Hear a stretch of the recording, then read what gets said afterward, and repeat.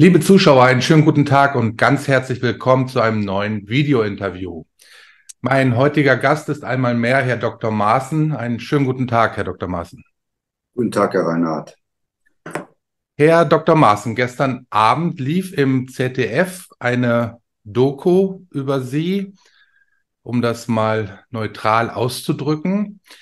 Ja, liebe Zuschauer, diese Doku können Sie sich anschauen in der ZDF-Mediathek. Und auch auf Twitter hat diese Reportage große Wellen geschlagen. Da lohnt es sich durchaus einmal, die Kommentare dazu durchzulesen. Herr Dr. Maaßen, meine erste Frage. Wie fühlt man sich eigentlich als Mensch, wenn so etwas über einen gesendet wird und dann zu einer ja, sehr guten Sendezeit im öffentlich-rechtlichen Fernsehen? Gestern, als die Sendung lief, war ich eingeladen zu einem Abendessen und einer äh, der anderen Gäste sagte mir Maaßen, das ist Gold wert, äh, wenn über sie berichtet wird. Sie sind eine ganz normale Person, sie sind kein Unternehmer, sind kein Spitzenpolitiker. Die würden mit Sicherheit sehr, sehr viel Geld bezahlen, um überhaupt in den Medien Erwähnung zu finden. Also um Ihre Frage zu beantworten, man könnte es positiv sehen. Äh, überhaupt Nachrichten über einen sind schon mal gute Nachrichten. Aber was das ZDF gemacht hatte, das war im Grunde genommen eine Schmähsendung, eine Hass- und Hetze-Sendung gegen meine Person. Äh, ich persönlich bin nicht der Auffassung, dass ich so bedeutsam bin, dass man mir eine halbe Stunde widmen muss und dann noch zu einer sehr guten Sendezeit viel Geld ausgeben muss, weil die Journalisten, die oder die Leute, die es gemacht haben, die haben monatelang dran gearbeitet. Das ist nicht nötig, dass man das für eine einfache Person macht wie für mich. Aber es zeigt mir, offensichtlich bin ich für diese Leute bedeutsam oder gefährlich, dass man jedenfalls sich die Mühe macht, so eine, also eine Schmähkritik, so ein Hasspapier zu machen. Ja, kann ähm, es sein, dass die Angst haben vor Ihnen? Es, es kann durchaus sein, dass sie Angst haben vor mir, weil äh, zeitgleich ist auch ein Buch erschienen über den Verfassungsschutz, wo auf dem Cover auch schon deutlich gemacht wird, dieses Buch enthält auch Aussagen über Hans-Georg Maaßen, was, was nichts äh, inhaltlich Neues ist, aber äh, man wollte mich auch darüber äh, diffamieren und diskreditieren. Ich sage Ihnen, ich nehme das einfach zur Kenntnis. Ähm, und zwar deshalb, weil auch aufgrund meiner professionellen Ausbildung mir derartige Zersetzungstechniken natürlich bekannt sind. Das hat früher eigentlich äh, der DDR-Geheimdienst gemacht, diffamieren, diskreditieren, äh, ausgrenzen, neutralisieren. Da will man zum einen mit verhindern, dass Leute mit so jemandem redet, reden, äh, die, die, der so, so diffamiert und äh, ausgegrenzt ist. Also man will im Grunde genommen die, die Kontakte abbrechen zwischen dieser Person und dem Rest der Gesellschaft. Und da will man diese Person auch äh, ja, in eine psychische Krise bringen. Und auch in der DDR gab es immer wieder Fälle, wo Menschen mit, mit dieser Ausgrenzung nicht zurechtkamen, äh, kam, psychisch nicht zurechtkamen.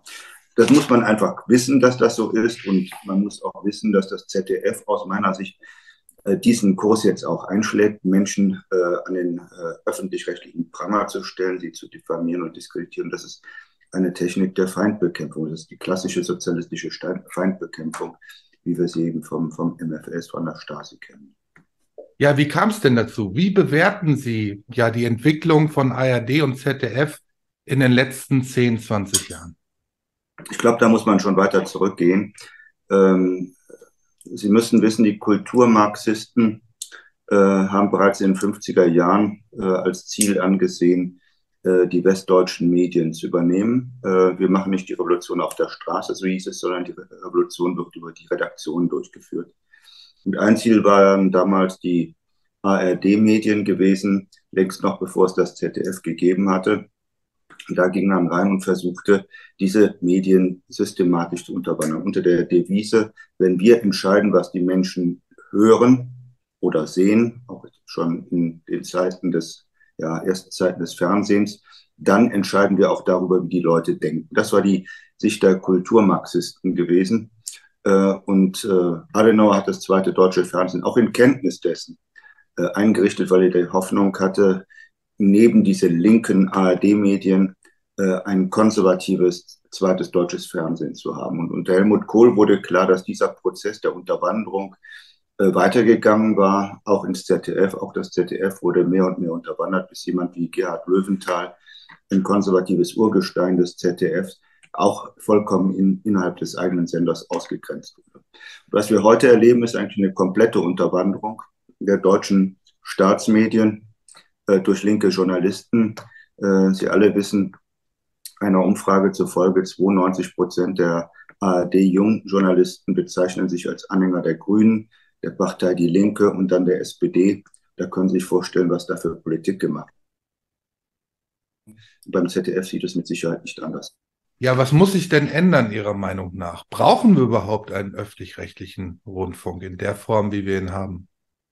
Nein, das brauchen wir mit Sicherheit nicht. Ich hätte schon vor Jahren gesagt, fünf Euro reichen komplett aus für die Staatsmedien. Heute würde ich sogar sagen, wir brauchen sie eigentlich gar nicht.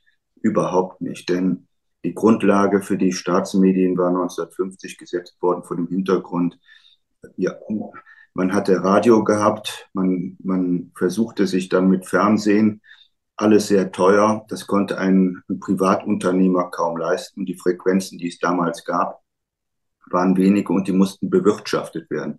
Und bewirtschaften heißt Mangelverwaltung und Mangelverwaltung durch den Staat. Die Staatsmedien haben dann diesen Mangel verwaltet und das sollte fair und gerecht sein. Und deswegen Rundfunkstaatsvertrag, wonach die Staatsmedien in aller Breite, in aller Tiefe nach Möglichkeit und fair zu berichten haben. Was wir heute haben, das ist nicht nur eine Medienlandschaft bei den Staatsmedien, die sich überhaupt gar nicht mehr dran hält, sondern wo Journalisten sich selbst zu Haltungsjournalisten und zu Agitateuren und Propagandisten erklären. Aber was wir noch viel weniger haben, ist eine Mangelbewirtschaftung, äh, sondern wir haben, ich sage mal, Frequenzen im Überfluss. Jeder kann im Grunde genommen Fernseh machen, über YouTube und über andere Kanäle.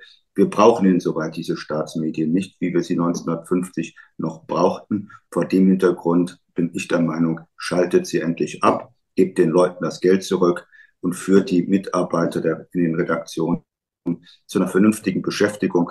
Wir haben ein hohes Maß an äh, äh, zu, wenig, zu wenig Personal im Handwerk und in der gewerblichen Wirtschaft.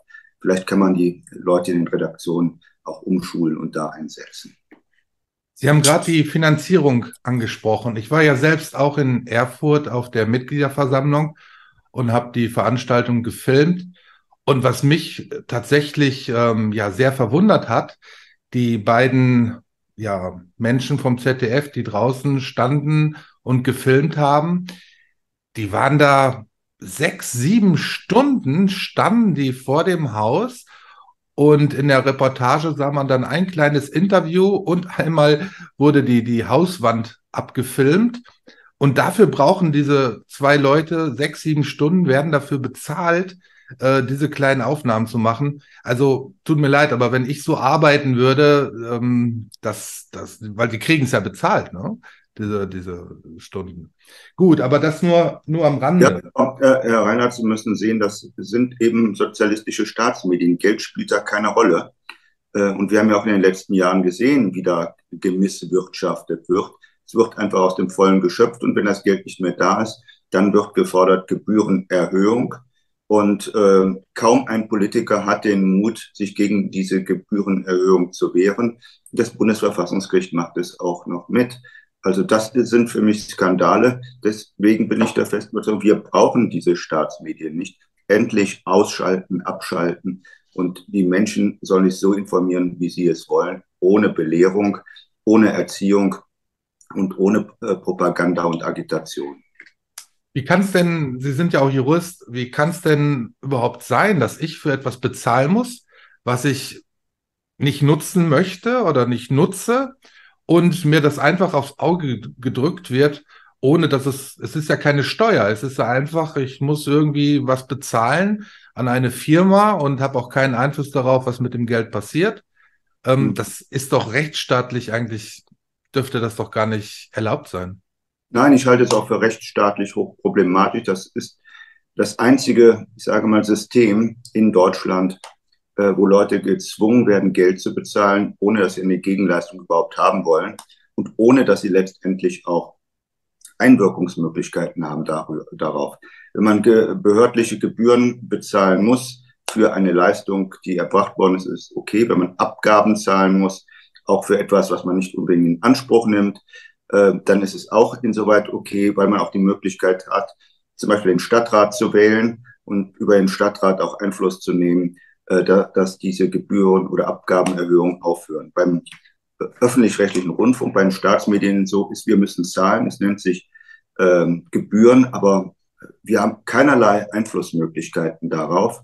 Äh, wenn Sie bei einer Kasse sind oder bei einer Versicherung sind, bei einer öffentlich-rechtlichen Versicherung sind, da haben Sie wenigstens noch die Möglichkeit, äh, Ihre Vertreter in die Entscheidungsgremien zu senden. Das haben wir gar nicht. Äh, nämlich die Vertreter, die reingesandt werden, sind in aller Regel Politiker, wie jetzt Frau Schwesig beim ZDF, die sich da hat reinwählen oder reinsetzen lassen. Und das hat überhaupt gar nichts mehr mit Rechtsstaatlichkeit zu tun. Deswegen abschalten von ARD und ZDF. Ja, vor allen Dingen geht es ja auch darum, dass die freien Mitarbeiter, die es sehr zahlreich gibt bei den öffentlich-rechtlichen, sehr, sehr schlecht bezahlt werden. Hingegen aber die Leute, die oben sitzen, wirklich absolut fürstliche Löhne kassieren und auch wirklich extrem hohe Renten. Auch das ist ja irgendwo gar nicht zu verstehen, ja, dass, dass ich als, als Bürger deren Rente finanzieren muss. Also.